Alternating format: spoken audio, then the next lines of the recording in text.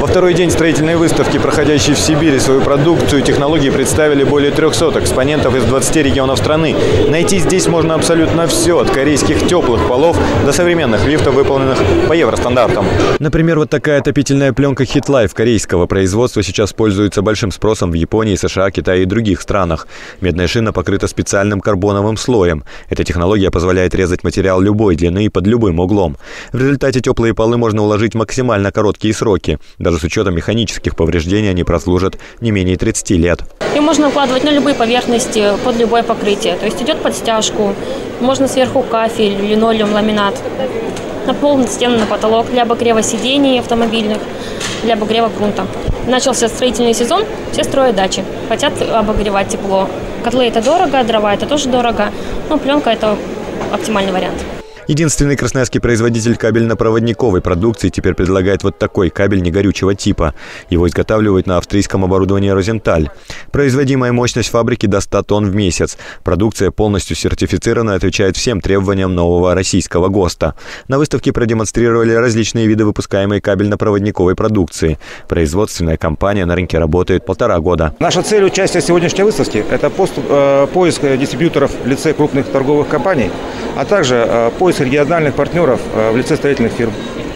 Здесь же предлагают трубопроводную арматуру, полипропиленовые трубы и фитинги высокого качества для водоснабжения и отопления, стальные шаровые краны от крупнейших российских производителей, насосное и противопожарное оборудование в широком ассортименте. Большим спросом в последнее время пользуются полимерно-песчаные канализационные люки, которые обладают целым рядом существенных преимуществ по сравнению с чугунными аналогами. Меньшая стоимость, бесполезность для торговцев ломом, небольшой вес, значительно упрощающий монтаж люка. Начали э очень хорошо и плотно заниматься пожарным оборудованием. Много видов труб, которые рассчитаны для холодной воды, для горячей воды, для отопления. Они выдерживают различную температуру, а, различными материалами армированы. Единственный на выставке изготовитель бетона, железобетонных изделий и растворов использует в производстве своей продукции противоморозные и пластифицирующие добавки. Они позволяют работать комфортно с материалом даже в условиях низких сибирских температур.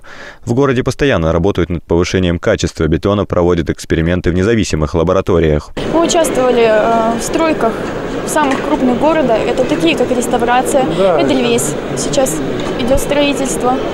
Участвовали э, в строительстве фитнес-центра «Экселент», э, в строительстве луча реконструкции, ну и многие другие. А вот эти лифты потребляют минимальное количество электроэнергии, во время простоя и вовсе работают в так называемом спящем режиме. К тому же производитель теперь их оснастил фотоэлементами. Они не позволяют закрываться дверям, пока человек полностью не зашел в кабину. Завод изготавливает и такие инвалидные подъемники, и вот такие автопаркинги. Все лифты были сертифицированы по энергоэффективности европейской системой а, с присвоением соответствующих классов. Ну, хочу отметить, что лифты без какой-либо дополнительной подготовки получили достаточно высокий класс, это класс Б и класс А. Добавлю, что 20-я специализированная строительная выставка продлится в Сибири до 18 мая. За два дня ее посетили уже более 8 тысяч человек. Если у вас есть свои новости, звоните лично мне. Мой телефон 292 5504. Сергей Кузовков, Андрей Егоров, Афонтова. Новости.